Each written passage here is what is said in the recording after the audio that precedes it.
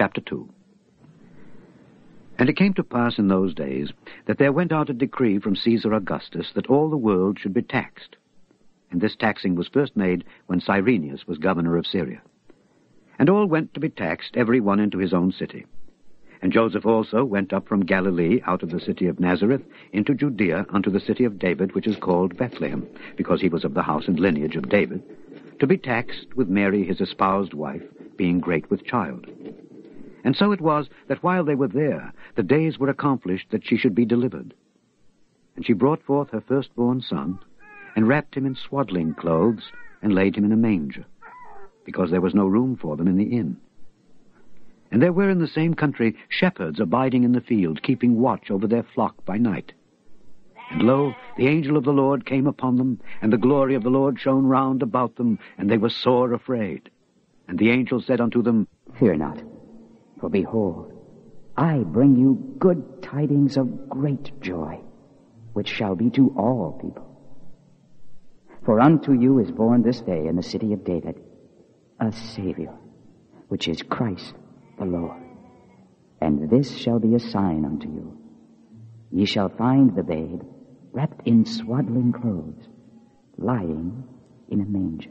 And suddenly there was with the angel a multitude of the heavenly host, praising God and saying, Glory to God in the highest, and on earth peace, goodwill toward men. And it came to pass, as the angels were gone away from them into heaven, the shepherds said one to another, Let us now go even unto Bethlehem, and see this thing which is come to pass, which the Lord hath made known unto us. And they came with haste, and found Mary and Joseph, and the babe lying in a manger. And when they had seen it, they made known abroad the saying which was told them concerning this child. And all they that heard it wondered at those things which were told them by the shepherds. But Mary kept all these things, and pondered them in her heart. And the shepherds returned, glorifying and praising God for all the things that they had heard and seen, as it was told unto them. And when eight days were accomplished for the circumcising of the child, his name was called Jesus, which was so named of the angel before he was conceived in the womb. And when the days of her purification according to the law of Moses were accomplished, they brought him to Jerusalem to present him to the Lord. As it is written in the law of the Lord, every male that openeth the womb shall be called holy to the Lord. And to offer a sacrifice, according to that which is said in the law of the Lord, a pair of turtle doves or two young pigeons. And behold, there was a man in Jerusalem whose name was Simeon, and the same man was just and devout, waiting for the consolation of Israel. And the Holy Ghost was upon him. And it was revealed unto him by the Holy Ghost that he should not see death before he had seen the Lord's Christ. And he came by the Spirit into the temple. And when the parents brought in the child Jesus to do for him after the custom of the law, then took he him up in his arms and blessed God and said, Lord, now lettest thou thy servant depart in peace, according to thy word. For mine eyes have seen thy salvation, which thou hast prepared before the face of all people, a light to lighten the Gentiles, and the glory of thy people Israel. And Joseph and his mother marveled at those things which were spoken of him.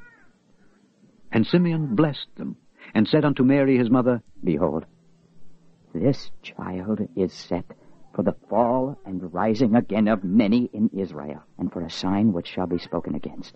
Yea, a sword shall pierce through thy own soul also, that the thoughts of many hearts may be revealed. There was one Anna, a prophetess, the daughter of Phanuel of the tribe of Aser. She was of a great age, and had lived with an husband seven years from her virginity, and she was a widow of about fourscore and four years, which departed not from the temple, but served God with fastings and prayers night and day.